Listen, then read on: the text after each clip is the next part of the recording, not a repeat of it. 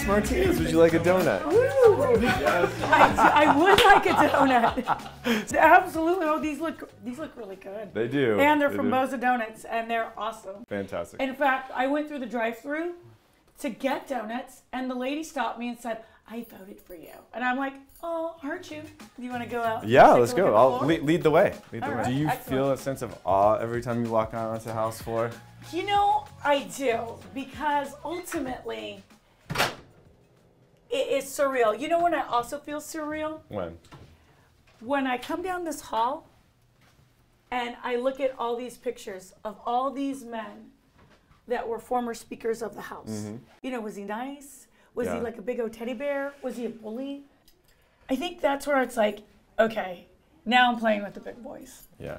Well, I think you can get a sense because some of these are only speakers for one year at a time. Maybe they weren't the nicest, and they didn't. They didn't oh, I'm, I'm kidding. That's, that's, a joke. But yeah, I, would, gonna I always I do the same thing. I walk by and I look. I'm like, what happened? that This person was only a speaker for. He's for. very stylish, though, isn't he? He's very stylish. He is. But then you get to Kirk Adams, and I can answer the question for you whether or not he was a good speaker.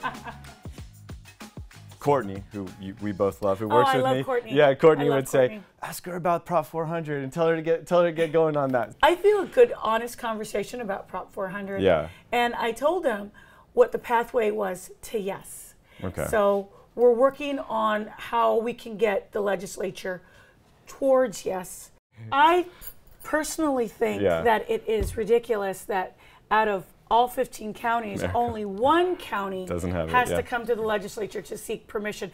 I feel like somebody got mad years ago and tried to do some sort of retribution. That's just my opinion. Uh, but yeah. I, I do think it's a little ridiculous that Maricopa County is the only county in the state of Arizona that has to seek permission. And so this is the floor that we come through. Obviously, the media will sit right here. Um, and then we have the whole floor. Now, the duty of the whip, uh, one of the duties is to assign all the seats. Oh wow. And so last session, we had um, intermix of Republicans and Democrats. But I did things a little bit different. I put the Republicans all on one side and the Democrats over on the other. And what you see happen now are people actually crossing the aisle. And then um, the other whip, Marcelino Quiñonez, and I, we often meet in the middle. I like You wanna see my Ye- desk? Yes, please. Let's wh- tell us what's on your desk and what it represents. Oh, around here. Oh, it's fascinating by what you see on some of the desks. A lot of elephants if you're Republican, a lot of donkeys if you're a Democrat, but it's nice to see representation of your district. So I have Pinal County, Very nice, Florence. right? Yep. Pinal County, Florence. Miners. I am an advocate of the miners. This was a little cotton, uh, a bale of cotton. It's actual cotton too. You can touch that. You're gonna have all the five C's up here, or you know, I've seen copper and cotton, but yeah. Uh, law enforcement, And you have the jails. and then the jails, and Yeah. then obviously Farm Bureau. My faith, Nice. because this place totally needs Jesus. Yeah. And then last but not least, my picture of Spock. Yes, I'm a Trekkie, live long and prosper, but Spock represents logic, Logic, yeah. and data and facts.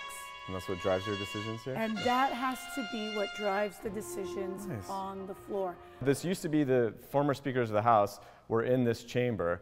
And I think this change happened during Speaker Bowers, where it became more about the, the state, less about the individuals. And, and I'll Yeah. tell you, when I came in here, um, it was about the state, and I love it. I love that we're, Yeah. you know, sort of to be in the bottom of the Grand Canyon.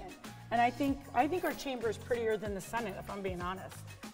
Well, the thing that matters most to us is policy. Policy matters, and you keep passing good policy, we'll keep bringing the jobs. So thank you so much, Ms. Oh, Martinez. Thank, thank you so much. Thank you, Danny.